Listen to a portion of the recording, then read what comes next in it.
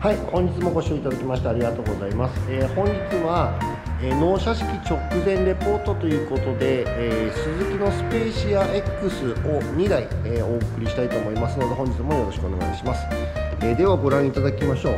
えーこちらの方が、えースズキスペーシア X うーんカラーがオフブルーツートンになります。カラーナンバーが XAD になります。えー続いてこちらの方がライトブロンズパールとおーページ内装ですね。どちらも今回はページュ内装をお客様選んでいただきました。どっちの車も外装色が、まあ、鮮やかな車というかパッとした感じなので明るい感じの色の車なので内装色はベージュにされてるという感じになります。実際はホイールカバーがつくタイプになりますので、えーこんな感じのホイールカバーがここに装着される感じになります、えーどちらの車もグレードは同じですので、えーパッと見は同じなんですけどもやっぱり色によってイメージがだいだいぶ印象違うのかなと思います。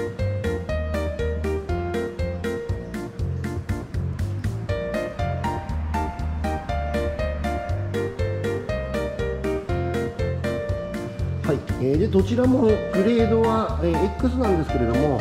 こちらの方はミラーの下にカメラがないタイプですね。こっちの方はミラーの下にカメラがあるタイプになります、えこちらの方は全方位のモデル。そしてこちらの方は全方位ではないモデルになりますので、えではこちらのライトブロンズパールの方から、見ていきましょうバックドアの下側にリアバンパーってついてるんですけどここに、4つですね障害物を感知するセンサーがついております。中央部から少し右側の方に開けるノブがあります。こちらの方は電子スイッチではないので握って開けるタイプになりますね。ペーシアの特徴として自転車が積めるレールがあることが特徴的かと思います。今の車はスペアタイヤがないのでパンク修理キットがここについている形になっております。それから後ろ側からシートの前後ですねできるようになっておりますしシートの倒し方も1回で倒れるような形になっております。X のグレードはスリムサーキュレーターっていうのがついておりますしえロールサンシェードっていう機能もついております。ロールサンシェード。ここに引っ掛けてですね日置きができるタイプになっております。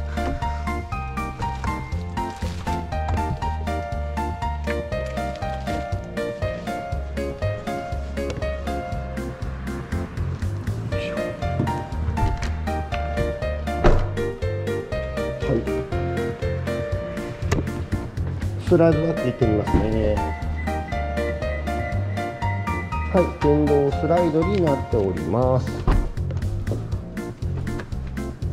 あとスペーシアというだけありまして室内、えーいろいろな収納がたくさんついております。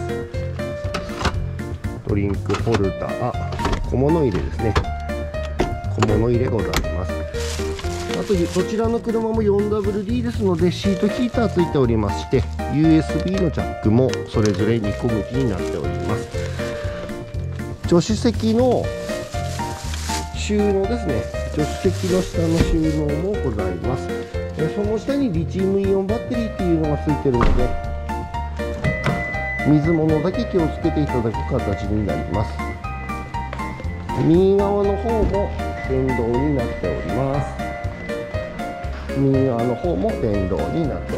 ます。シートはどっちが汚れにくいですかっていう感じで皆さん聞かれるんですけどまあ一般的には黒の方が汚れが目立ちにくいって言われてると思うんですけど外装色が鮮やかな色だと黒よりもやっぱりベージュを選ぶ方が多いのかなという感じはしますね。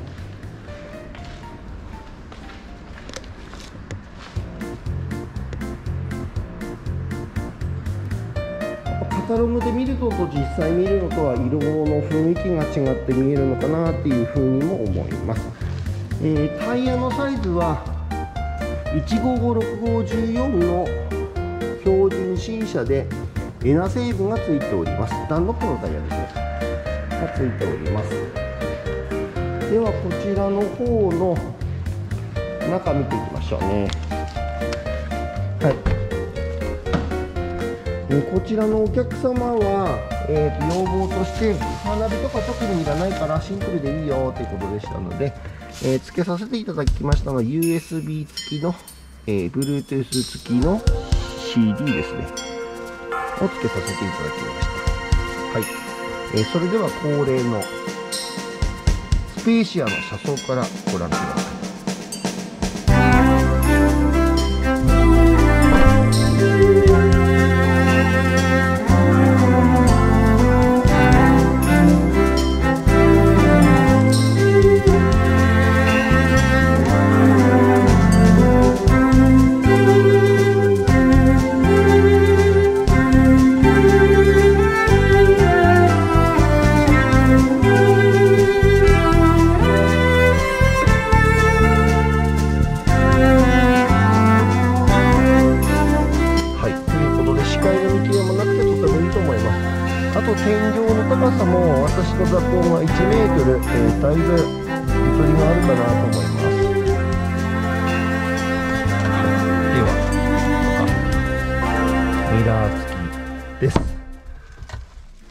ライトはないみたいですね、はい、オートエアコンになっていて、えーと、パワーモードがありますので、えー、坂道とか登るときに、えー、だいぶ、まあ、ターボではないんですけど、えー、加速が良くなるような装置がついてますので運転はしやすい車になってるのかなと思います。まあうちで一番売れてる車なだけありましてまあ何がいいかなっていうことでお客様に聞かれたら困った時はスペーシアがいいんじゃないかなっていうことでお伝えしております。後部座席の乗り降りにつきましてもえここにえ握りハンドルとここに握りハンドル運転して右側と左側に両方ございますので乗り降りはしやすくなってるのかなと思います。これが2列目から見た感じですね。はいという感じになります。あと、えー、グレードで一番違う点なんですグレードは同じなんですけど装備として違う点は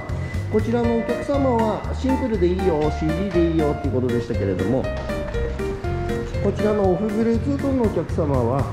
え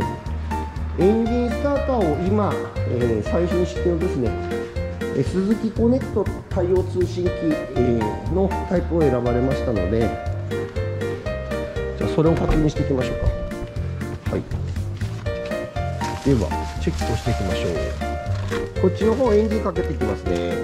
エンジンかけます。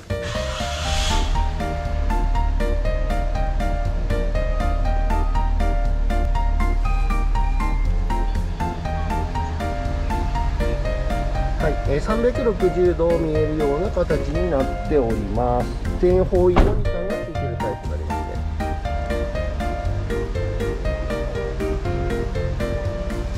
はい。でえー、っとオーディオの操作ですけど連動してるので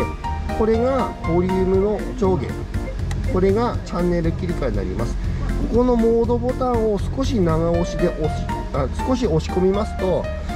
ソースの切り替えになりますのでラジオとかテレビとかが変わる仕組みになっております、はい、では B ボタンを押してみますね。下側にあります B ボタンを押すと現在時点での周辺車両周辺の状況を確認できます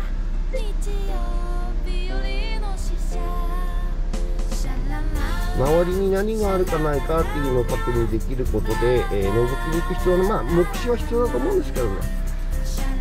覗きに行く必要がある程度少なくなるのかなと思います。それと、えー、上の方を覗いていきますけれども、え、こちらですね。こちらの方に SOS ボタンがあります。SOS ボタンは開いてボタンを押す形になります。緊急時ヘルプネットっていうのを使える形になりますね。まあ、こういう安全機能も最近はついてきてますので便利になってるのかなと思います。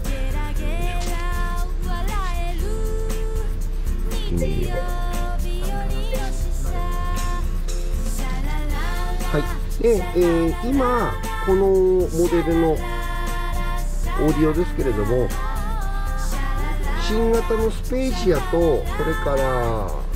新型の MR1 のもとい新型のワゴン R スマイルにこの、ナビが付けれるようになっております。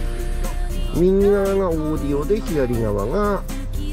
ナビという形になっております。平均値引ここ出てますけど今新車の状態で、え、4キロしか走ってない車なので走っていくと数値化されていくのかなと思います。それから安全装置に関してですけれどもこちらの方にございます。スライドドアの電動オンオフ。これが押されている状態だと電動スライドがオン。出っ張っている状態だとオフになります。P のマークは後ろ側の障害物を感知するときに音が鳴る状態だと緑鳴らない状態だと色がつかない状態になります。このオフボタンに関しましては基本的にはあまり、えー、と使わないかなと思います。車線逸脱警報装置をオフにするボタン自動ブレーキをオフにするボタン横滑り防止機能をオフにするボタンになります。あとこちらのアイドリングストップをオフにするボタンになります。ドリンクホルダー自体は四角になっておりますので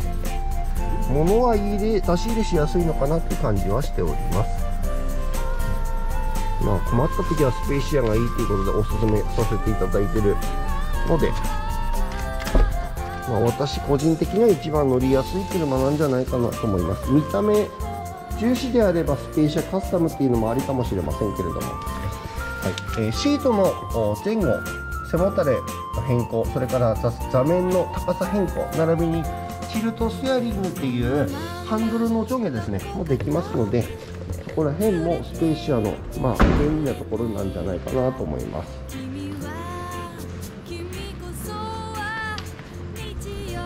さも、えー、だいぶ高いですね。乗った感じの空間はすごく広いなっていう感じはしておりますよ。はい、ということでスペーシアを2台まとめてご紹介させていただきました。えこちらの方がスペーシア X オフブルーツートンメタリック。そしてこっちの方がスペーシア X ライトブロンズパール、えー、それからこちらも内装はベージュという形になります、えー、ここ数日のうちに、えー、っ